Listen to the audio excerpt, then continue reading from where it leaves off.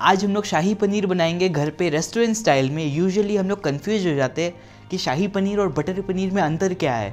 और मेरे चटोरों, कैसे हो आप? आज के वीडियो में हम लोग बनाएँगे शाही पनीर की रेसिपी रेस्टोरेंट स्टाइल में। वैसे बटर पनीर जो होती है, वो थोड़ी और मसालेदार रहती है और थोड़ी चटाकेदार रहती है। और शाही पनीर थोड़ी सी सिंपल ज़्यादा रिच और थोड़ी सी क्लासी रेसिपी है। आप देख सकते हो, एकदम सिल्की बनी है हम लोग की शाही पनीर। इसका फ्लेवर भी बहुत ज़्यादा बढ़िया है। और एकदम रेस्टोरेंट स्टाइल में बनेगी। तो रेसिपी शुरू करें क्या? रेसिपी शुरू करते हैं दोस्तों। ये सारे जो इंग्रेडिएंट्स एकदम सिंपल है, मैंने सभी की लिस्ट बनाकर नीचे लिख दी है। तो आप रेसिपी बनाने से पहले वो ज़रूर पढ़ लीजिएगा। अब फटाफट एक कढ़ाई गरम करते हैं और ये गरम कढ़ाई में हम लोग डाल देंगे टमाटर। मैंने यहाँ पर पाँच मीडियम साइज़ के टमाटर इस्तेमाल करे हैं। आप यहाँ पर देसी भी इस्तेमाल कर सकते हो हाइब्रिड भी इस्तेमाल कर सकते हो। मिक्स यूज़ करेंगे मतलब दो समझिए हाइब्रिड और तीन देसी तो टेस्ट अच्छा आएगा। इसी के साथ में मैं यहाँ पर है ना, प्याज भी डाल रहा हूँ। मैंने यहाँ पर दो मीडियम साइज़ की प्याज इस्तेमाल करे हैं। सभी को एकदम बड़ा बड़ा काटा ऐसा ज़रूरी नहीं है कि आपको उसको एकदम पतला काटना हो। इसको शाही और एकदम रिच बनाने के लिए हम लोग इसमें काजू डाल देंगे। छः सात पीस काजू है, उतने ही बादाम भी मैंने यहाँ पर लिए है। और उसके साथ ठंडक के लिए और एकदम अच्छा फ्लेवर के लिए मैंने यहाँ पर मगज भी डाला है। मगज के साथ साथ अब हम लोग इसमें एकदम बढ़िया फ्लेवर के लिए शाही जीरा डालेंगे। आधा चम्मच के आसपास ठीक रहेगा। अगर आप लहसुन और अदरक खाते हो तो आप बिल्कुल डाल लीजिएगा अगर नहीं खाते हो तो छोड़ दीजिएगा। मैंने यहाँ पर चार कलियाँ लहसुन की, एक चम्मच नमक और साथ में एक इंच अदरक का टुकड़ा डाला है। तो बटर पनीर मसाला तो थोड़ी ज़्यादा मसालेदार होती है, ये वाली थोड़ी कम मसालेदार रहती है, क्योंकि इसमें खड़े मसाले डाले जाते हैं और फिर निकाले जाते हैं। मैंने यहाँ पर एक इंच दालचीनी, दो हरी इलायची, तीन पीस लौंग, एक काली इलायची, ये सब कुछ लिया है। साथ में एक चक्र फूल भी है। इन सभी को इसमें डाल दूँगा। साथ में एक दो बड़े चम्मच जितना बटर डाल दूँगा, इसको मिक्स कर लेंगे हम लोग और साथ में हल्का सा पानी डालकर इसको पकाएँगे। जो स्टेप है इसमें, बस उबालने का है दोस्तों। आपको अभी टमाटर को गलाना है और सभी को एक साथ पकाना है। आपने भी कभी देखा ही होगा, अगर आप प्याज को उबालते हो तो बहुत अच्छा क्रीमी फ्लेवर आता है और टमाटर को तो उबालने से अच्छा फ्लेवर आता ही है। छिलके भी निकल जाते हैं, जिसकी वजह से अपनी जो ग्रेवी है वो एकदम अच्छी और सिल्की बनेगी। तो एडिटिंग के कमाल से हम लोग के जो टमाटर है, वो भी गल चुके हैं और साथ में अपने प्याज भी पक चुके हैं। आप देख सकते हो, सब कुछ बढ़िया लग रहा है। ये स्टेप में आपको 15 से 20 मिनट लग जाएगी। अगर आप हाई फ्लेम पर करते हो तो और जल्दी भी हो सकता है।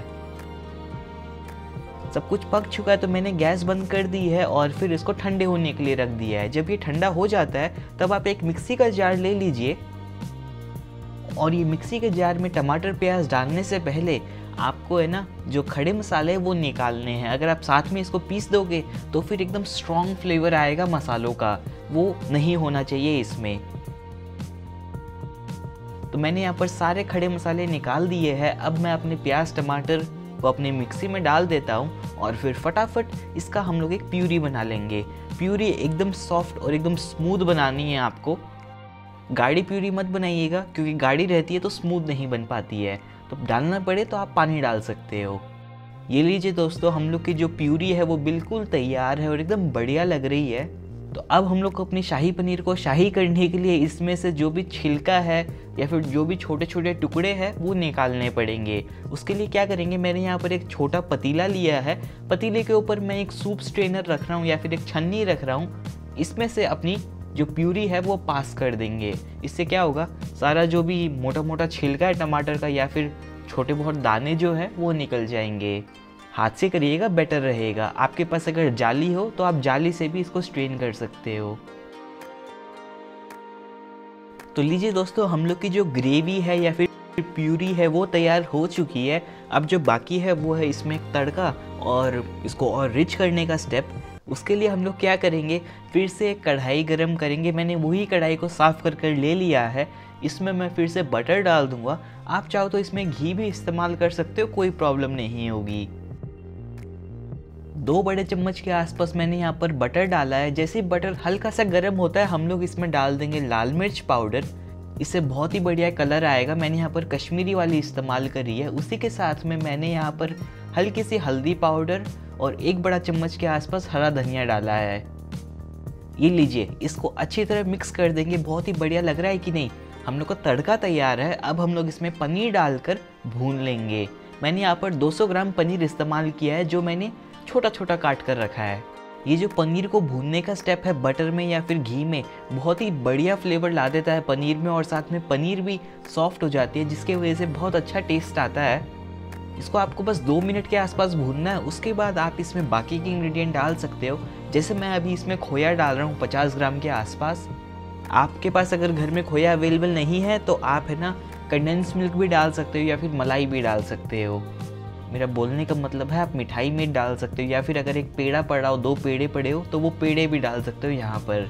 तो लीजिए, अपना जो खोया है वो डालने के बाद अब हम लोग अपनी ग्रेवी डाल देंगे। ग्रेवी डालने के बाद एक बार मैं इसको मिक्स कर दूँगा क्योंकि हम लोग की गैस थोड़ी हाई फ्लेम पर है और अब जो बचा हुआ जो ग्रेवी है ना पतीले में, वो भी निकाल लेंगे हल्का सा पानी डालकर। इतनी बढ़िया जो ग्रेवी बनाई है, उसको वेस्ट क्यों करना है? अच्छी तरह मैंने इसको मिक्स कर कर इसमें डाल दिया। अब हम लोग की फ्लेम हाई पर ही रखेंगे और फिर इसको अच्छी तरह मिक्स कर देंगे। आपने नोटिस किया होगा, मैंने अभी तक इसमें नमक तो डाला ही नहीं है और साथ में मैंने इसमें चीनी भी नहीं डाली। तो मैंने यहाँ पर है ना, चीनी इस्तेमाल करी है एक चम्मच के आसपास और नमक टेस्ट के हिसाब से। दोनों डालने के बाद हम लोग इसमें हल्का सा केसर भी डाल देंगे। आप चाहो तो केसर डाल सकते हो, ना चाहो तो मत डालिएगा, लेकिन केसर का जो फ्लेवर है, बहुत ही ज़्यादा बढ़िया लगता है शाही पनीर में। इससे कलर भी अच्छा आएगा ही। अब जो नेक्स्ट स्टेप है, इसको अच्छी तरह मिक्स करना और फिर इसको उबाल पर लेकर आना। शुरू में आप फ्लेम को हाई रख सकते हो। हाई फ्लेम पर जब इसमें एक उबाल आ जाता है, तब आप क्या करिए? फ्लेम को हल्का सा लो कर दीजिए, क्योंकि हम लोग को इसको दो तीन मिनट तक उबालना है। जैसे ये उबल रहा है, हम लोग इसमें थोड़ी सी क्रीम भी डाल देंगे। आप चाहो तो यहाँ पर हल्की सी मलाई में थोड़ा सा दूध मिलाकर डाल सकते हो। उससे भी बहुत अच्छा फ्लेवर आएगा। मैंने यहाँ पर तीन चम्मच के आसपास क्रीम डाली है क्योंकि ये पड़ा था घर में डिब्बा। अब इसको अच्छी तरह मिक्स कर देंगे और फिर हल्का सा उबाल लेंगे। और हम लोग के घर में बनी हुई शाही पनीर बिल्कुल तैयार हो जाएगी। ये तो लीजिए, शाही पनीर बहुत अच्छी लग रही है। आपको अगर और ऐसी टेस्टी सब्ज़ी की रेसिपी देखनी है तो मेरे को ज़रूर बताना। वैसे अपनी जो ये शाही पनीर है देखने में और खाने में अभी तो टेस्टी है ही, लेकिन इसका फ्लेवर अगले दिन बहुत ज़्यादा बढ़िया और हो जाता है। मतलब आज अगर आपने ये बनाई है, दूसरे दिन सुबह तो इसका फ्लेवर एकदम सुबह नल्ला हो जाएगा। ये जो शाही पनीर है, इसके साथ जो लच्छा पराठा होता है ना थोड़ा सा पुदीने के साथ बना हुआ उसका मज़ा ही कुछ और है। वैसे आप इसको नान के साथ भी सर्व कर सकते हो। वैसे अगर आपको लच्छा पराठा की रेसिपी देखनी है पुदीने के साथ तो मेरे को बताइएगा, जल्द से जल्द आपके साथ शेयर करूँगा। और हाँ नान की रेसिपी तो आपको मेरे चैनल में मिल ही जाएगी। ये सबको छोड़ते आप शाही पनीर ज़रूर ट्राई कर कर मेरे को बताइएगा कि कैसी बनी। मिलता हूँ जल्दी एक और रेसिपी के साथ। तब तक के लिए वीडियो के नीचे एक सब्सक्राइब लिखा हुआ बटन होगा। उसको क्लिक करना, उसके बगल में फिर एक घंटी आ जाएगी। उसको भी एक बार टंग कर देना, उससे क्या होगा? आपके फ़ोन में घंटी बजेगी जब भी मैं एक नया वीडियो डालूँ। आज के लिए बस इतना ही। Bye bye